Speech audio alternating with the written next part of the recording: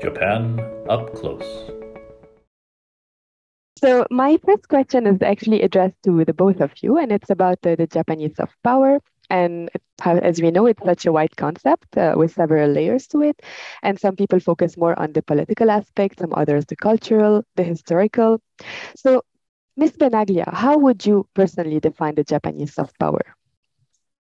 Thank you. Thank you for the question. And uh, perhaps before starting, I would like to say that I'm indeed a specialist on soft power, but on the public diplomacy. So, more as you highlighted correctly, the political aspect. So, rather than the cultural attraction, which is very much the case for Japan, uh, but they specialize more on how you explain your own policy. This is, uh, in a very brief uh, sentence, how I would explain public diplomacy. So, you know, how you present your core um, political agenda to the rest of the world. And now, um, when it comes to my observation of how the soft power in general, and in particularly the public diplomacy power for Japan, um, it's rather interesting that starting from the huge cultural attraction that Japan obviously has and it plays out. Uh, but in a way, I mean, in its unique position, but it's not the only country in the world that has a unique and very big cultural to, to, to give out to the rest of the world. But what is rather unique for Japan is that they manage to um, get people attract to attract the people through the cultural, but then have them interested in the social political and socio-economic economy of today's Japan. And this shift is actually rather unique and is rather very important because um, while again the cultural attraction in a country can remain and can be big or small you know it depends on a number of variables and of course i can get more into the details on this but uh, i stop here for now uh, for japan what is very interesting for the political um, uh, observation is that they manage to attract people through the cultural attraction, but then have them interested in the contemporary Japan. And this is utterly important because you then have, you know, you create some sort of small ambassadors of your own policy. So um, this is, for me, the key of the Japanese soft power today. Thank you very much. It's a very interesting uh, point and very interesting way of putting it. Thank you. Um, Mr. Brekell, um, how would you define the Japanese soft power? Uh, so I would define Japanese soft power as uh, an overall image of uh, reliability and also friendliness, perhaps. Uh, I think a lot of non-Japanese have an image of Japan as being quite uh, orderly. Uh, like trains are always on time, crime rate is low, and Japan is a very safe country. And I think since more and more foreigners are visiting Japan as well, I think that they kind of get their images confirmed as well. Uh, I think most people have heard stories about like lost wallets finding their way back to the its owner, or like if you if you lose something on a train in Japan, you usually get it back. Uh, so Japan is a very safe place. And also, I think a lot of people that visit Japan, they come here to um, enjoy the food culture. And most people are familiar with Japanese food culture has a lot of uh, raw dishes a lot of raw fish, uh, obviously, sushi being the most famous. Uh, and I think that uh, although they have a lot of raw things, you very rarely hear about people getting sick in Japan. So I think that people feel very safe here, and not only because of the low crime rates, but also like you can eat anything without actually knowing it is, but you know that you're going to be fine. So I think that um, it all kind of adds up to Japan as being a very reliable country so I think that you you're not you're not worried when you're in Japan. You, maybe you're lost, like culturally, maybe you're lost because you don't know the language, but you're always safe. And I think this kind of adds up to an image of uh, Japan as a country that you can rely on and where you can always feel safe. Thank you very much. I can definitely relate to this. Uh, and both of your answers just show that confirms how um, complex and rich that concept of Japanese soft power is. Um, Ms. Benaglia, so in your experience, have you witnessed any influence of Japan's soft power on other countries or on people's daily lives? Well, I would uh, answer with uh, European perspective on this because I am observing the effect of Japanese soft power and again, more focusing on public diplomacy. I, am a public diplomacy expert myself, so I have these lenses. Um, while sitting in Brussels. So I have kind of like the recipient end um, view. Um, my work is also, um, I, am a foreign policy expert of the EU and I work on the Indo Pacific. Now, I spell this out because until very recently, the Indo Pacific was a foreign concept for Europeans. Um, let's not dwell into this. Um, but as a matter of fact, and I'm talking about pretty much over two years span, um, we, the Europeans, started thinking about the Indo-Pacific, and in this, um, the Japanese definition of the of FOIP has been extremely important and extremely prominent influence in defining what the Indo-Pacific means for the European Union and its strategy. So this is a very concrete example of how the public diplomacy actually worked out in concrete terms uh, in Europe and how it influenced. Of course, we have other elements like, uh, well, we haven't yet uh, seen the results, but um, there were there is a Japan chair recently established in a prominent European um, university here in Brussels. So through these uh, tools, the Japan chair, you really have an impact and you see directly this link of how, you know, you by investing on people to people, so to say, public, this kind of public diplomacy, they manage to do it very effectively. So the investment has um, a high rate of return on investment, so to say. Um, and there is really, you know, the again looking at public diplomacy, so explaining main policies, you have a direct uh, impact. And this is rather unique in the soft power world because soft power doesn't always have this um, straightforward dynamic. It is much more blurred. Uh, it is not always one plus one equal two, but I think in the Japanese case is uh, it at least is much closer to this uh, to this dynamic. Thank you very much. Uh, following up on that question, do you do you feel or how do you think that Europe is leveraging its own soft power in Japan? Well, this can be a very long discussion and very long topic. Um, keeping it extremely short, I think that um, the EU is still learning how to leverage its soft power in general and public diplomacy. Um, despite acknowledging that public diplomacy is of paramount importance, it's notoriously always repeatedly flagged as a priority in foreign policy, but there is very little use strategically of these tools. So uh, it still remains uh, a little bit of um, theoretical more than a practical tool.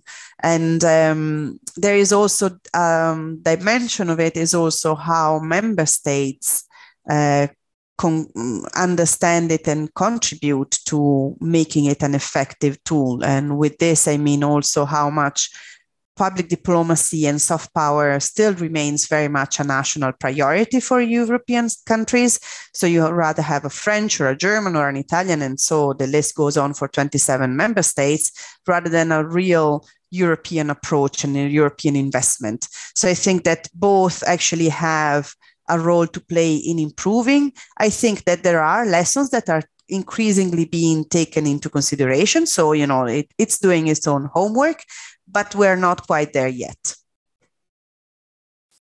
I see. Thank you very much. Um, Mr. Brekell, how about uh, your experience? Though, uh, mm, uh, thank you. I'm, I'm going to return to the, um, the cultural aspect here.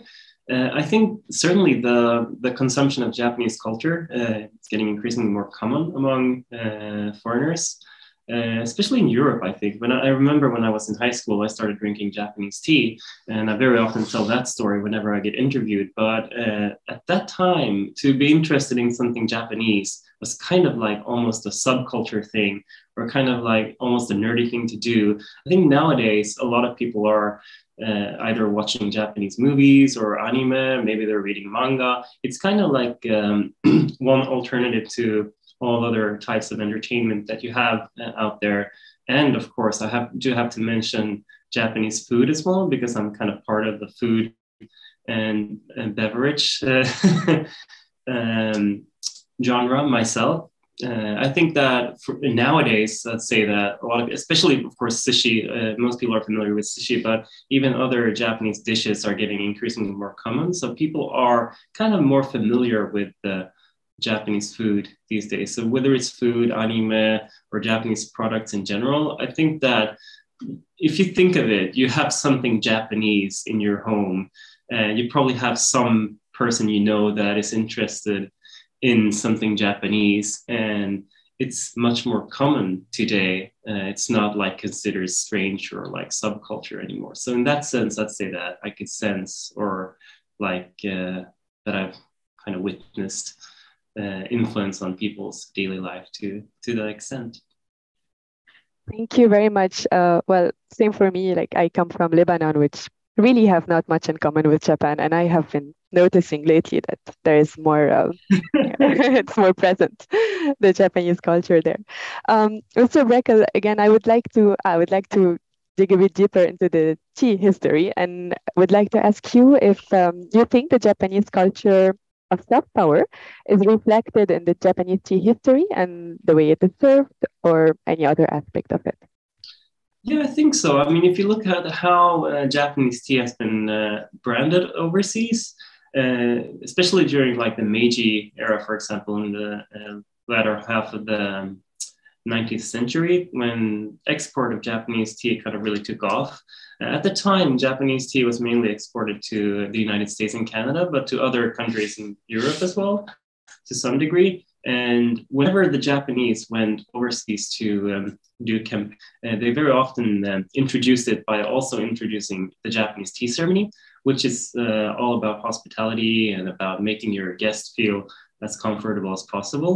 So I think uh, it's uh, they kind of, I guess, wanted to create an image of uh, Japanese tea and Japanese tea drinking being something very peaceful, something very friendly, and um, uh, that kind of um, uh, probably made people think of Japan as a friendly nation as well, uh, because well, tea, tea drinking is uh, friendly and not very aggressive. So I think that has uh, definitely uh, led to people having a, uh, an image of Japan as a friendly country. And I think you see that nowadays as well. It has changed a little bit the way they promote tea, but um, since because now it's more focused on the um, the health benefits, but that's also something that is very sought after right now. Um, health benefits of uh, tea drinking or like uh, people are getting more health oriented in general all across the globe and i think in that sense again japanese food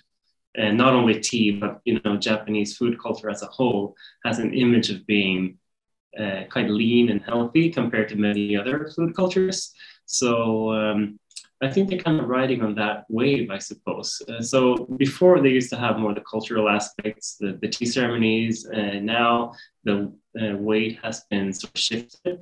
Uh, a lot of focus is on the, um, the health benefits now, but that's uh, also a strong point, I suppose. Uh, although it's kind of accidental. I mean, uh, they didn't make uh, well create tea as a superfood uh, for modern people, but it just ended up being that way. Uh, but I think it kind of leads to people having an image of uh, well Japanese food culture and including tea drinking uh, as something healthy in general. Thank you. Well, it is a good accident.